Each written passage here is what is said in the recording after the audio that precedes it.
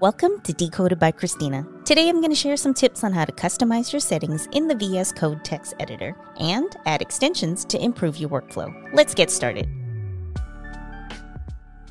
VS Code is a popular choice for text editors because of its versatility. To view the customization options, go to the main menu and select Settings. Then select Settings again in the submenu.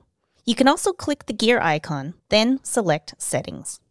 Before we look at these options, let's use one of the built-in features, Split Editor Right. Click the icon that looks like two columns to view multiple files side by side. In this example, I have the settings page open on one side and an example HTML file on the other, which will be used to show how these settings are applied. The different options are grouped into categories, starting with some commonly used settings, such as whether you want your files to autosave, I compulsively save my files, so I usually just leave the default setting, which is set to off. You can also change the font size used in the editor here if you want it bigger or smaller. The font family can also be changed, but I usually leave it at the default. Some settings are applied right away, while others may require a restart or a change to a related setting.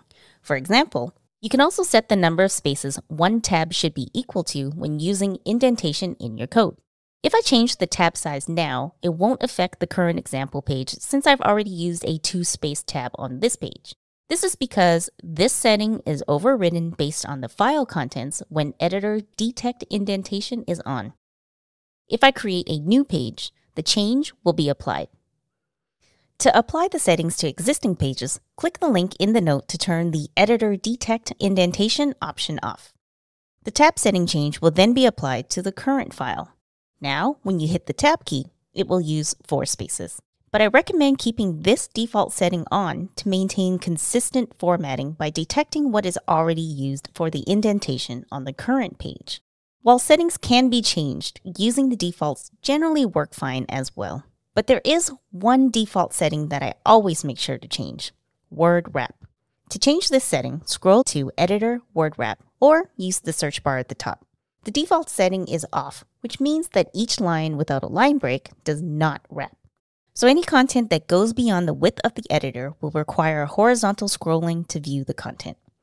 The On option will wrap the text to the width of the editor window. Word Wrap Column allows you to set a specific width for text wrapping, regardless of the size of the editor window. To set the width, navigate to Editor Word Wrap column and enter a numerical value without any units. The bounded option will wrap the text to the width of the editor window or to the word wrap column width, whichever is smaller. Another setting I like to modify is the theme, which is applied to the editor's UI as well as the syntax highlighting for the code. To access the theme settings, navigate to Workbench Appearance, then select Color Theme or click the gear icon and choose Themes Color Theme. A keyboard shortcut is also available. On a Mac, use Command KT. Control KT should work on a PC. The editor comes with a few pre-installed light and dark themes to choose from, but you can also install more themes by adding extensions. In the sidebar, click the icon that looks like four blocks to search for extensions. I'll use the word theme for my search.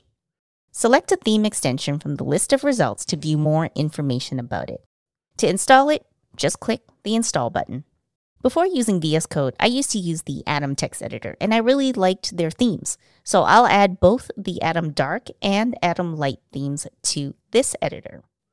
VS Code extensions also offer a range of options for adding a variety of features. One useful extension that I like to add is Live Server. This extension launches a local server and automatically reloads the browser as soon as you save the file. We're going to use this one by Ritwick Dey. Select Install to add it to the editor.